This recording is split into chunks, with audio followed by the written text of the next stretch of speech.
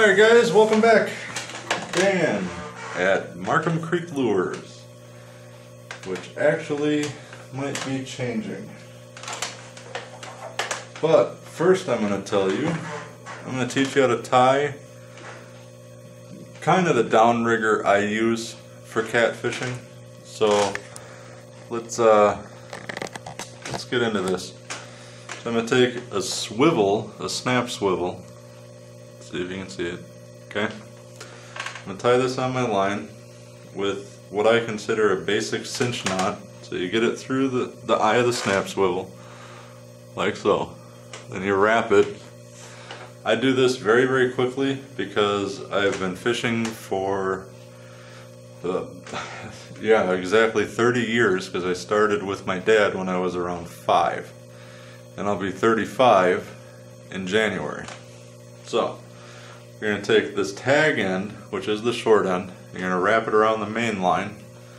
One, two, three, four, five, six. I always do seven because I think it's a little luck. And then you hold the tag and you hold the main line and you pull. Oh, let go of the tag end, let it tighten up let me, because this is 25 pound line, I used a heavy line so you guys could see what I was doing. Pull that tight. Oh, those are so dirty. And your knot is gonna look, let me get, let me get in a way you can see this. It's gonna look a lot like this. Okay. Bunch of wraps, it's gonna cinch down on this part so it cannot come off not by pulling. Now you can break it.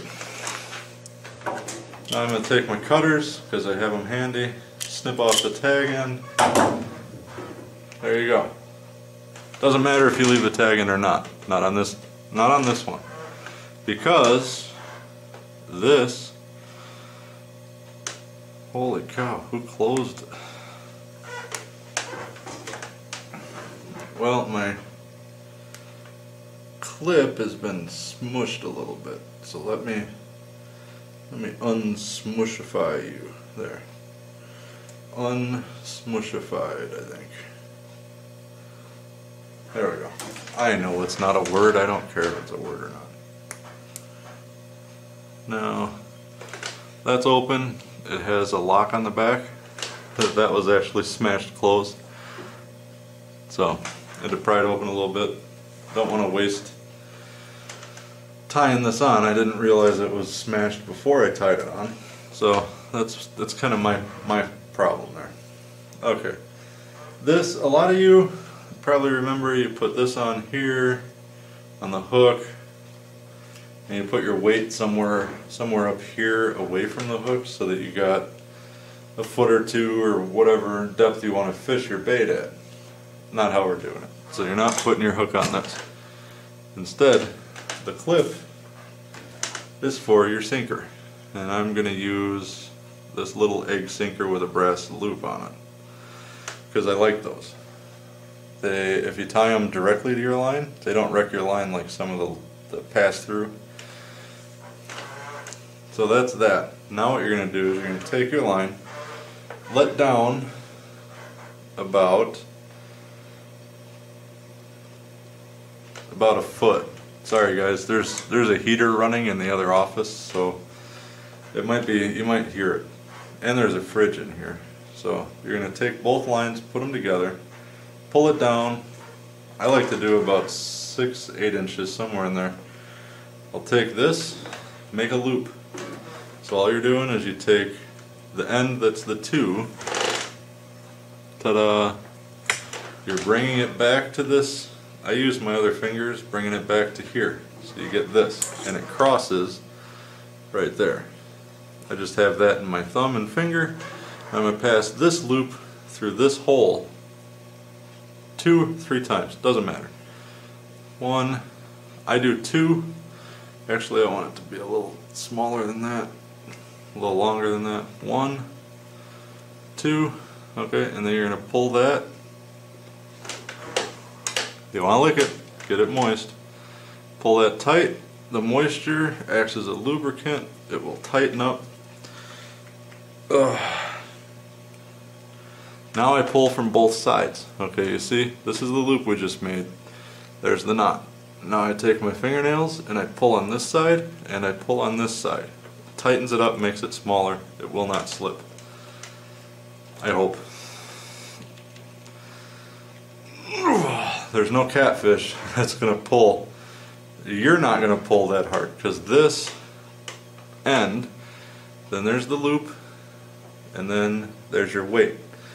Your weight and your fishing pole is not, if your weight does get stuck, well, it's an egg weight, so it should pull out with enough force. You're not going to pull on it harder mm, with a fishing pole than I just did. Actually, that that almost cut into my pinky. See? See the lines? Yeah. Okay, now you have this loop here. This is your main line. That's your weight. So that goes down. This goes back to your fishing pole. Your main line goes back to your fishing pole. I don't have it on a fishing pole because I don't have a fishing pole set up with 25 pound line right now that is anywhere near me. You have your loop. You're going to fold your loop in half, make it nice and tight at the end. So you're going to squeeze it together so it'll fit through the eye of your fishing hook. You're going to pass it through. Then you're going to take it, open it up like this, pass the hook back through there so that you end up with this, right? And then you pull it. Boom.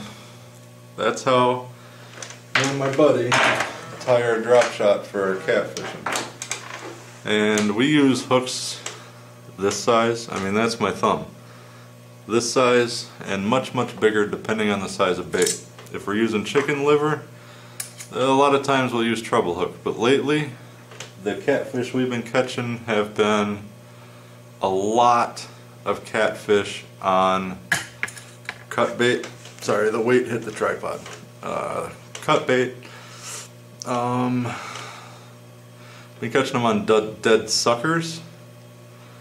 And I'll show you a special way to hook those in a different video when we actually go and do that because we have a special pull-through way of hooking up the suckers and it involves a paper clip with a small hook bent in the end of it.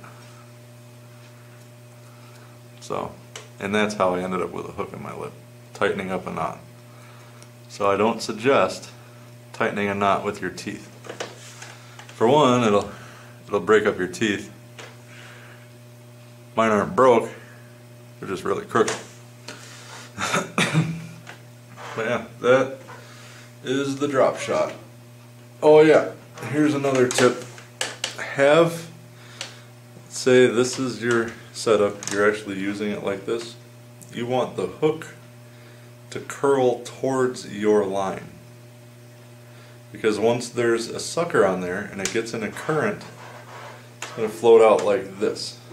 And then when the catfish come and they eat the sucker and you pull to set the hook, it's going to drive the tip of the hook up and straight into some hopefully thick bony flesh and he will not be coming off.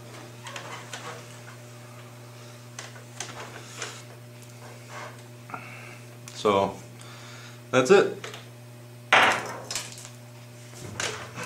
Now I'll probably take that apart and throw most of it away.